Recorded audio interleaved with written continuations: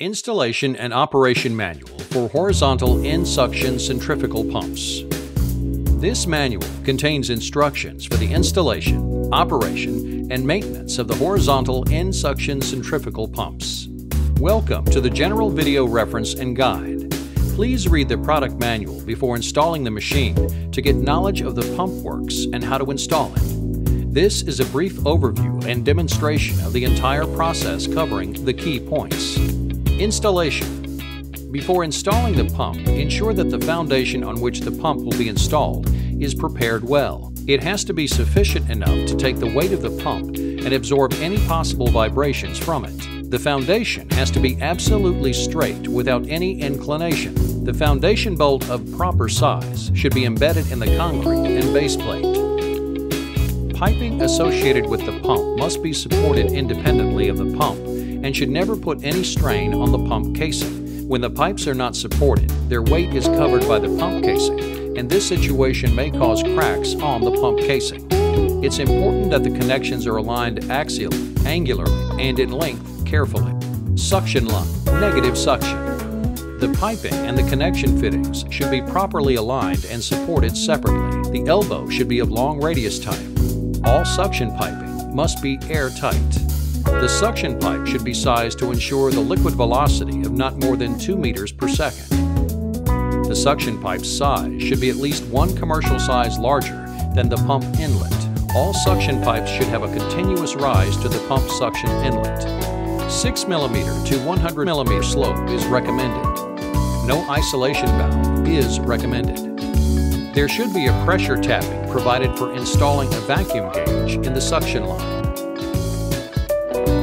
The reducer joining the straight length of the pipe in the pump line should be an eccentric reducer with the inclined side of the reducer as the bottom side. The straight length of the pipe after the eccentric reducer should be two times the pipe diameter. The suction strainer must be at least four times the suction pipe area, and the mesh size should screen out solid particles that would clog the impeller. The minimum depth of submergence of the strainer should be at least three times the pipe diameter measured from the upper row of holes strainer. The distance between the bottom of the strainer and the floor of the tank should be two times the pipe diameter.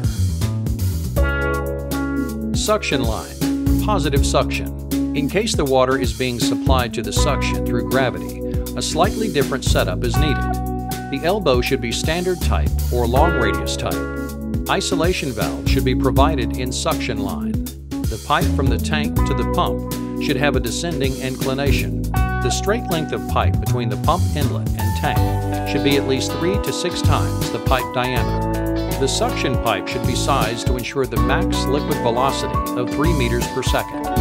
There should be a pressure tapping provided for installing a vacuum gauge in the suction line. The reducer joining the straight length of the pipe in the pump line should be an eccentric reducer with the incline, the side of the reducer, as the top side. Discharge line. There should be a pressure tapping as close to the pump outlet and before the isolation valve as possible to measure the pump shutoff head. Concentric reducer is installed in the discharge side to minimize the friction losses. To prevent reverse flow and protect the pump from hydraulic shocks, check valve has to be used in discharge line. The isolation valve is provided downstream of the check valve so that these can be taken up for maintenance, priming, and starting whenever required. Discharge pipe size should be at least one commercial size larger than the opening of the pump outlet. The number of fittings and size changes should be minimized to prevent fluid friction losses. Expansion joint may be used only after a careful piping analysis, especially when the discharge pressure are on the higher side.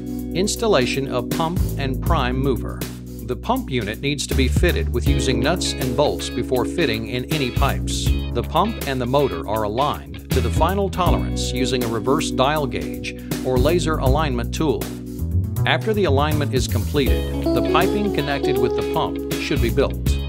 Once this is completed, the alignment of coupling should be rechecked. Then the alignment of all piping and fittings should be rechecked and suitable corrections should be made motor should be wired correctly to ensure the correct direction of rotation. When the pump and motor have been coupled, movement of the shafts should be controlled manually by hand to see if it is rotating smoothly. Pre-operational checks. After checking alignment of coupling, assemble the coupling guard and tighten the bolts. Ensure that the pump suction valve is fully open and all joints are checked for any leakage. The discharge valve should be kept closed to prevent overloading the prime mover. For further information, you can email your questions to info at mazgroup.com.